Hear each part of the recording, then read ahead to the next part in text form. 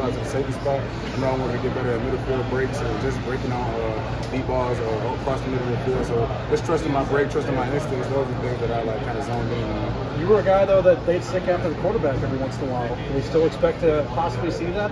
Um, I can't really say that. I don't really know what the coaches got planned, so uh, I guess we'll see during the fall. I think the smile says it all. I think so too. Thanks for your time. Yes, sir. Javon, what have you seen from those guys in the, the interior defensive line in front of you, developing depth and everything this spring with Jalen? Um, just young guys that are hungry. They come in here eager to learn, eager to work, uh, day in and day out. And I feel like we're going to progress, progressively get better over the years.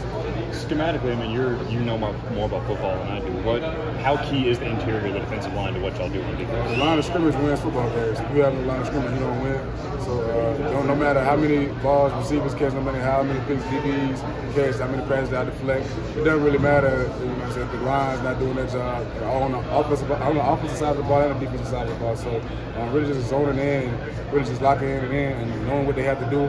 Um, like I said, the football is never going to change. So the offensive line, off, uh, the line of scrimmage is going to be key to everything. What have you seen from a guy like Tyrion Ingram Dawkins? He had a couple pressures today. He had a, a sack, such as it was. What, what have you seen? How much? How has uh, he got better? Ty is one of those guys that is just a freak of nature.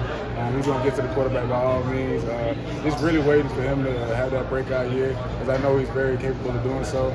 I'm looking forward to seeing him shine this year. I know y'all didn't have Mykel, Marvin, Smael didn't play today. Like, how much better do you think this defense can get as you go through, through the summer and into fall camp? We'll just start getting those guys back. We can get better day in and day out. We try to do so. Um, like I said, we got a lot of uh, guys that are banged up, guys that are still banged up and managed to push through today. Um, so we just can continue to recover and continue to learn. And those guys like Smael and Mykel, um, and some of the other guys that didn't play, um, those guys continue to coach and, and uh, really just zone in on the younger guys so that when they lock in and when their opportunity is called on, they can make plays do the same thing that the guys in front of them did.